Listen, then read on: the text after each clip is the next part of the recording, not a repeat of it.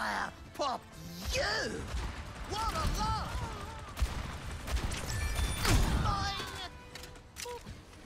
Of course, the enemy team has been vanquished.